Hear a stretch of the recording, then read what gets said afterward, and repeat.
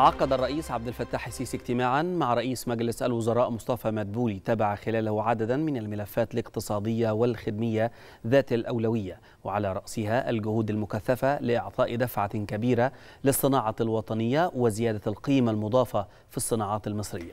وأكد الرئيس السيسي في هذا الصدد توجه الدولة بدعم وتشجيع القطاع الخاص المصري والأجنبي لزيادة الاستثمارات الصناعية وتحقيق طفرة في حجم وجودة الإنتاج الصناعي المصري. عقد السيد الرئيس عبد الفتاح السيسي اجتماعا مع الدكتور مصطفى مدبولي رئيس مجلس الوزراء.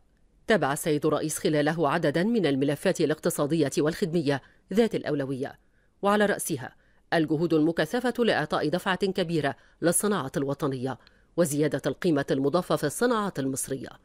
حيث أكد السيد الرئيس في هذا الصدد توجه الدولة بدعم وتشجيع القطاع الخاص المصري والأجنبي لزيادة الاستثمارات الصناعية وتحقيق طفرة في حجم وجودة الإنتاج الصناعي المصري.